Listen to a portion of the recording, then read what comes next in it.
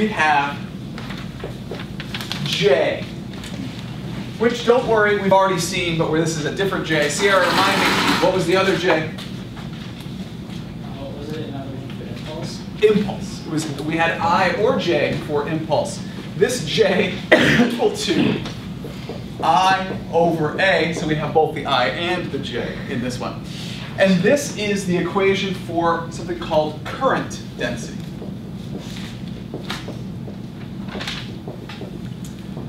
Current density, so it's the current per cross-sectional area. We already have the equation for current. It is, um, walk me through it. What is the equation for current? What are all of these things? John, N? Um, number of charge carriers. Uh, it's actually it's not Uh, the number. No, it's um, uh, charge carrier density. Charge carrier density multiplied by A. Area, drift velocity, and the charge. The charge on each carrier, charge per carrier. All right. So we have the current, the which is the charge carrier density multiplied by the cross-sectional area times the drift velocity divided, multiplied by the charge per carrier, now divided by the cross-sectional area. In other words, the current density is just the um, charge carrier density multiplied by the drift velocity multiplied by the charge per carrier. Again, current density. A guy by the name of Georg Ohm in the 1820s, 1830s, discovered that the current density was proportional to the electric field in many materials. Not all materials, but in these ma- materials, he discovered Ohm's law. He discovered the law that says that some of these materials are ohmic, or they follow Ohm's law. All right. So this symbol here, a lowercase sigma, in this particular case stands for conductivity.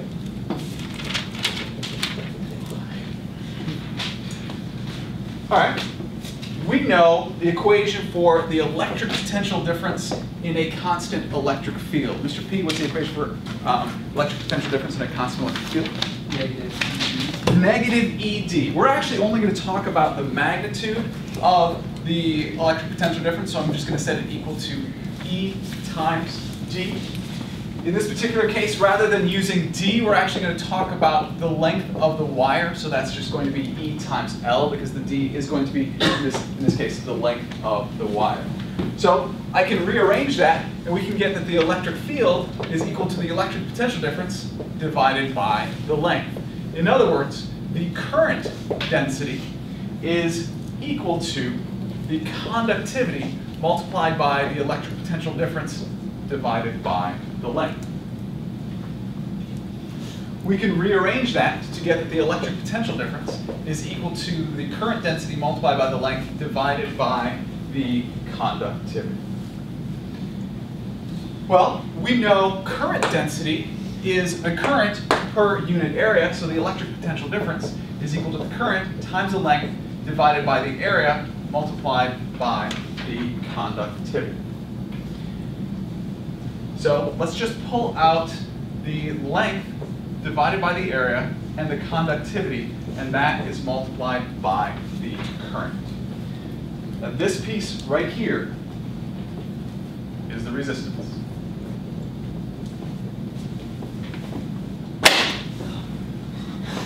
Generally, we do this rather than in terms of the conductivity, do it in terms of the resistivity. Luckily, we use a rho because we've never used that one before. Rho stands for resistivity, and that's equal to the inverse of the conductivity.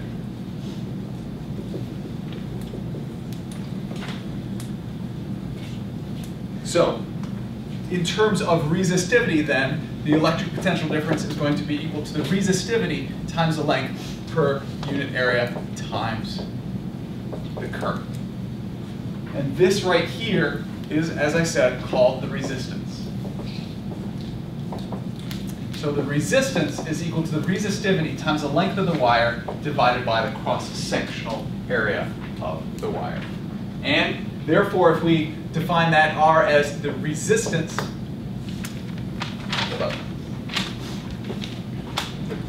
we then get the electric potential difference equals the current times the resistance. It's generally the way that you see this.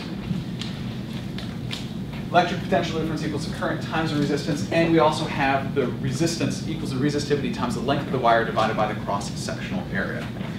I want to look at a table, if you could pull out the table on page 837. The table, page 837, there is a table of a bunch of resistivities of materials. Now, I want to highlight the difference between two different things. We have resistance.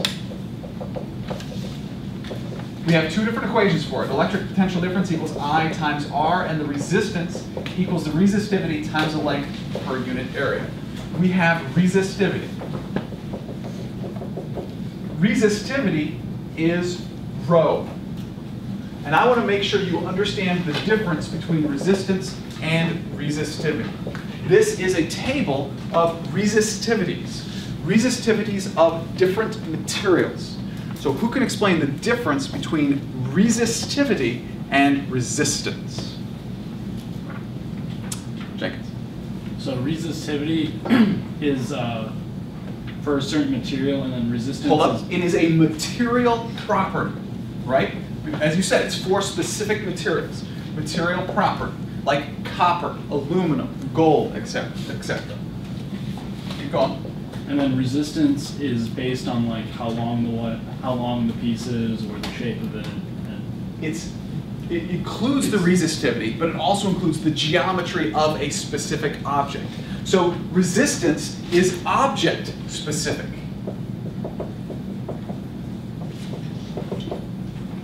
It depends on the geometry of the object and whatever material you're talking about. So you can have a resistance of a particular resistor. And if you have another resistance, it can have a different, if you have another resistor, it can have a different resistance, even if it has the same resistivity. What would make it so that two different resistors that have different resistances have the same resistivity? shape. Ah, that, they, or, or they're made of the same material. So there are all sorts of different ways to do it. My point is that they're made of the same material, but yes, you could do it other ways as well. Okay, so it's just one of those things that people often confuse the concept of resistance versus resistivity.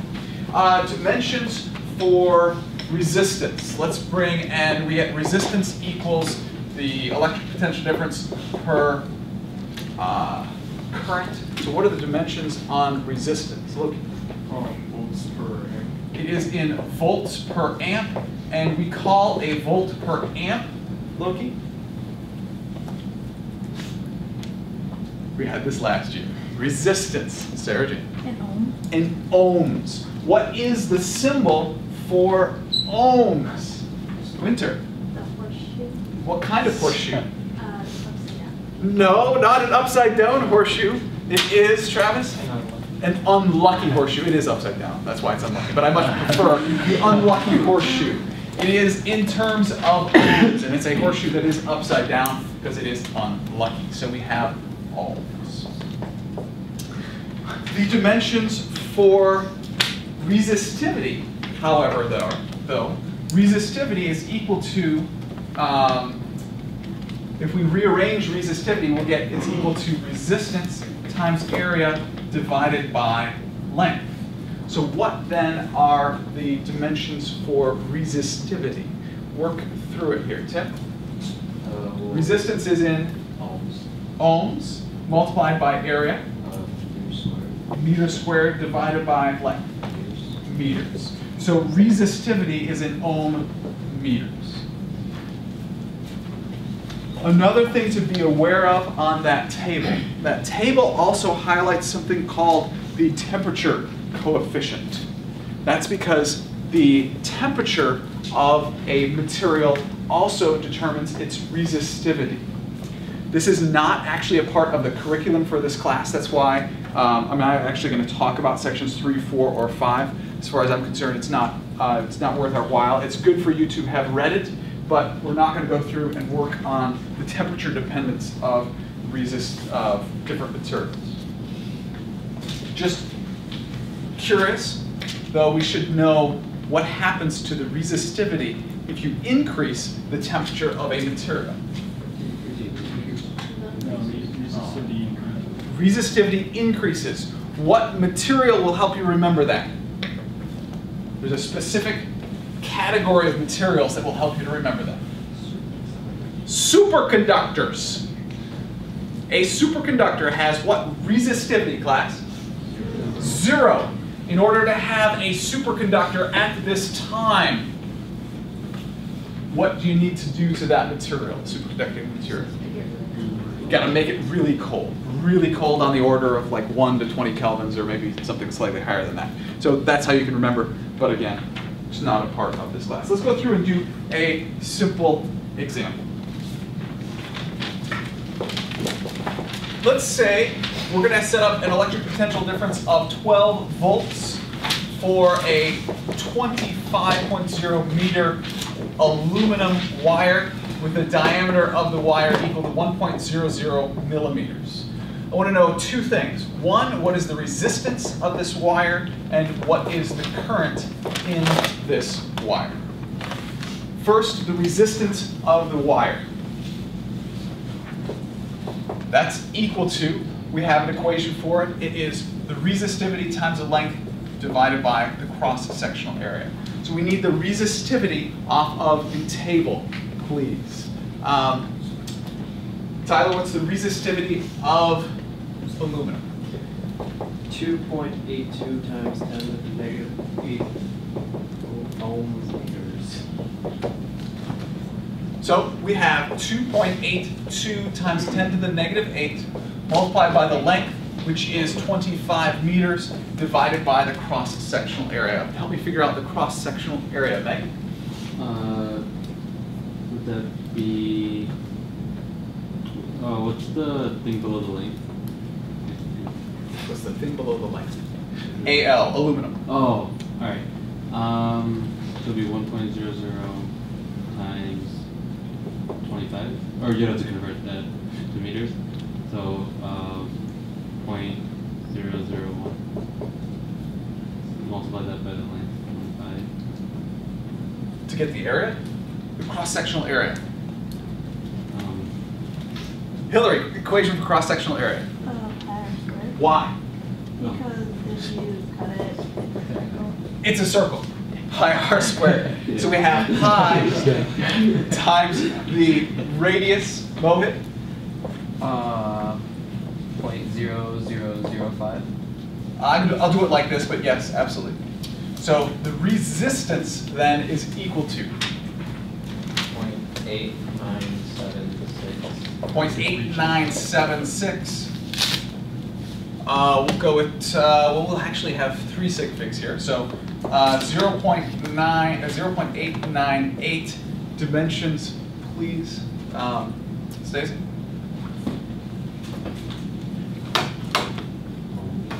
Ohms. So this wire is made of aluminum, and aluminum has a resistivity of 2.82 times 10 to the neg- negative 8 ohm meters. This particular wire, because it has a certain length and a certain diameter, is going to have a specific resistance of 0.898 ohms. And we're going to figure out the current in this wire. How are we going to do that match? Um, let's see. Oh, delta V equals IR. Give those to me without any of the letters. Tell me what it stands for. Um, potential like potential difference equals current times resistance. Good. So the current then is going to be equal to the electric potential difference divided by the resistance. So 12 divided by 0.898. Current, I'm sorry, 0.8976. Current in the wire, please. 13.4. Going. Uh, sorry, back up. It's a three, six, eight. Thank you. Therefore, the current is equal to 13.4, 13.4, Tim? Amps. Just a basic problem to go through to help us understand